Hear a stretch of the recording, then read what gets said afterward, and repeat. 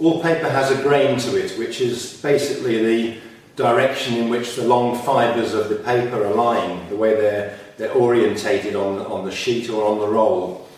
And it's advantageous to have the grain running in this direction when you're rolling your shell case.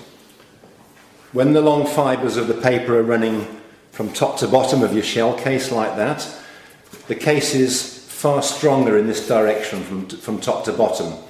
And when the lift charge goes off underneath, there's much less chance of this shell compressing and rupturing.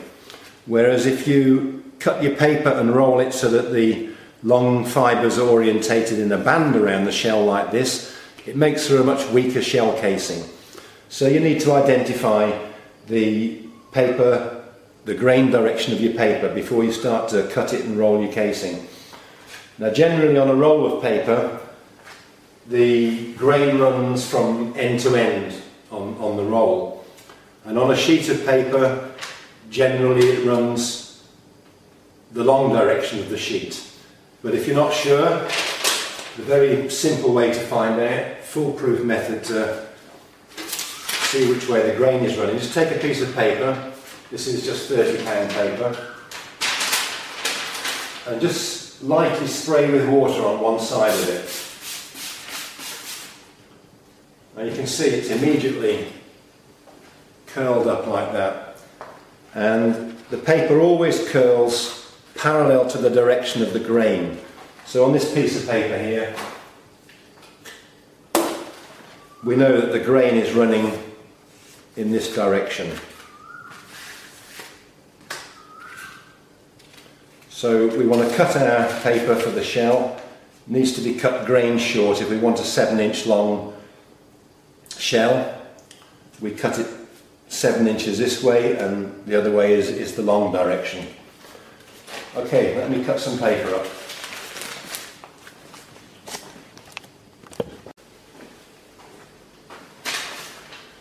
We have a lot of different qualities of paper on the market today and when it comes to rolling a shell casing basically you should try and use the best paper you can get your hands on.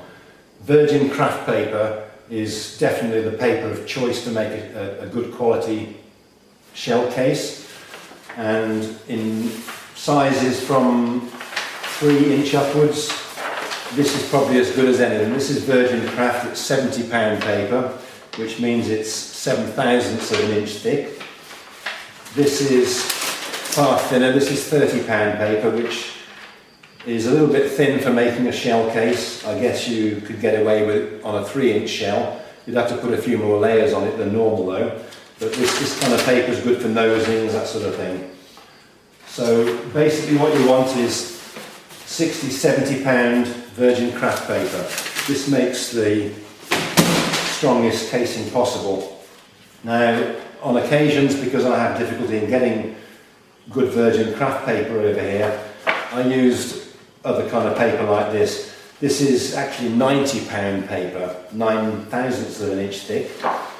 It's kind of tan colour on one side and a lighter colour on the other. I suspect it's the paper they use for making cardboard boxes, the outer cover on a cardboard box. It's recycled, it falls apart if you get paste on it, but if you're using it for something like this, this is a 4 inch uh, shell casing and I'm going to be putting spiderweb stars in here and I'm using it with a liner. So this paper I, I think is, is acceptable for something like this, though on a multi-break I wouldn't dream of using this kind of paper. I would want to be using something like this, 70 pound or, or thicker paper for a good quality multi-break shell. Okay, I'm going to cut some paper up. I need to cut paper for some 5 inch shells.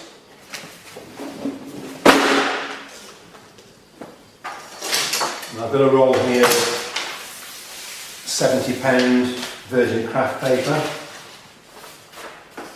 And I need to determine the, the, the grain incidentally on this paper is running down the length of the paper as it's on a roll. You, you know it's running that way. So I need to cut my paper so that the grain on my shell case is running down this way as we said before. So I need to cut a strip off sideways. unfortunately the paper is only 36 inches wide.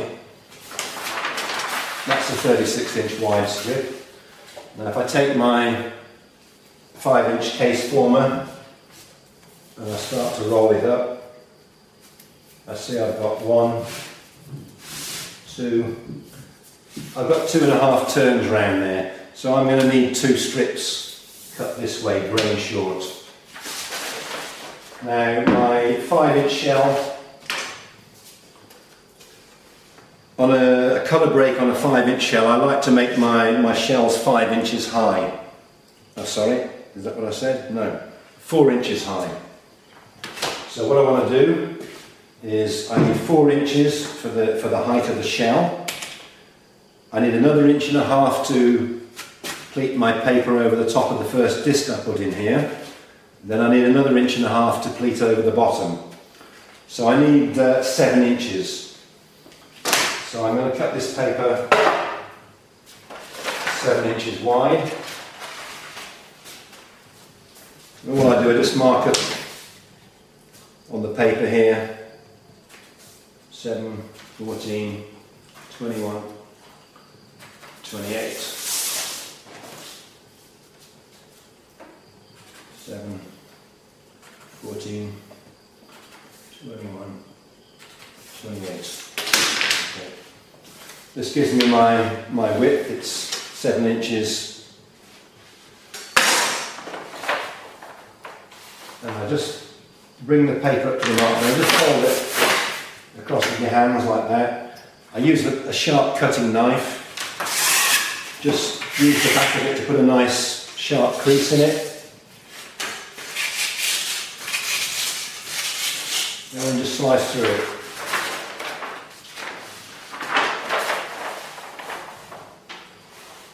You haven't got to be accurate to the nearest millimetre on here. It isn't that critical.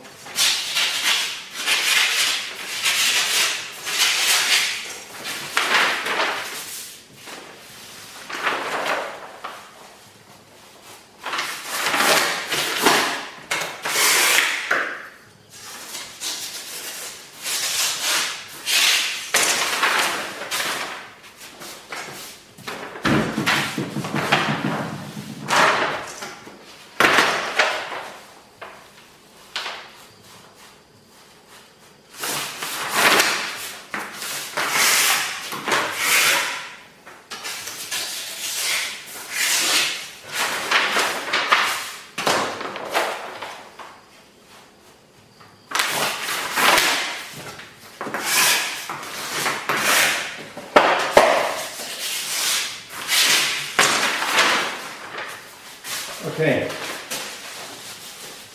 So there we go. Pieces. One would be interleafed with the other and I roll the casing up and I've got enough, two, two sheets here will roll me a five inch shell casing. I cut all the paper like that basically, the, the very thick stuff that's used for the cardboard boxes there. Uh, it doesn't cut very well with a knife so if I'm cutting big pieces of that sometimes I mark it out with, with a, a, ruler and I cut it with a big pair of scissors, but this paper's much easier to cut with a knife than anything else. Okay, something else I need to make is I've got a six inch shell and this isn't just a colour break shell, it's going to have these eight small reports put inside it. So I need to work out how much paper do I need to cut to make this. Normally a six inch shell, I would make my six inch shell uh, four and three quarter, five inch long. But because I want to put these, this, this ring of reports in here and some colour stars on top, I need to make it a little bit bigger than I normally would. Now this would the canal would be in there. I just make these small uh, shell cases like this just to put my reports and comets and things in just to, to see easily if they're going to fit or not. Okay, I would have I've got my little reports in there, they're two inches high and the fuse is about 3 eighths of an inch above the top of the, the paste job here and then this would be filled with Polverone over here so I'm going to have two inches plus my layer of Polverone will be two and a half and I want at least three and a half inches of colour stars over the top so if we say two and a half three and a half, four and a half, five and a half, five and a half, and a little bit of Polverone on the top before I close the shell up, just under the under the top disc. I say six inches. So I've got six inches of height on the shell. Six inches of height, and my pleating on the top will take up another one and a half, and the same on the bottom. I need um, I need a 10 inch strip of paper to make this this uh, insert shell.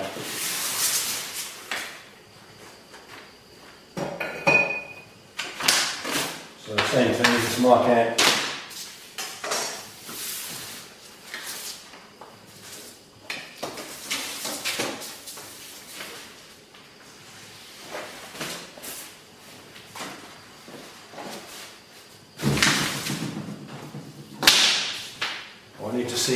how of uh, paper I'm going to need for this five six inch as well.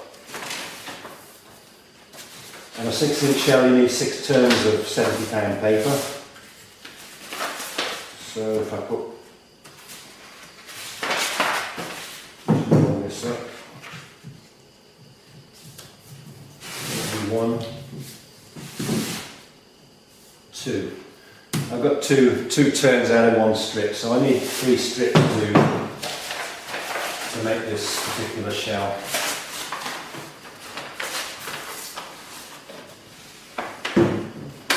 Okay, so I put some marks up on the paper,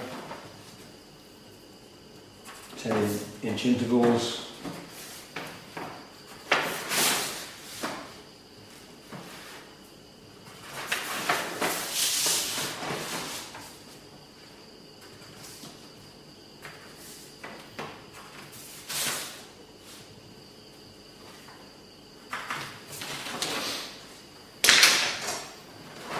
Just the paper from one mark to the next.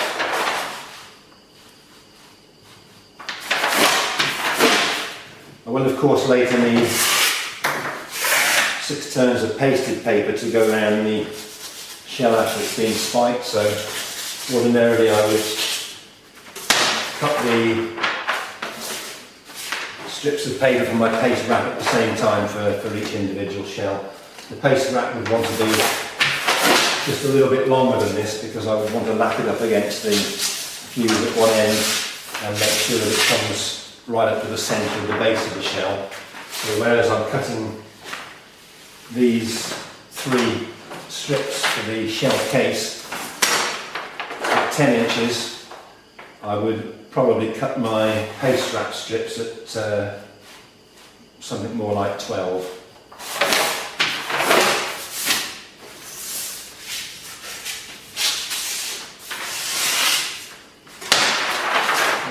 go, three sheets for my... And finally I like to just write on each sheet of paper what it's for.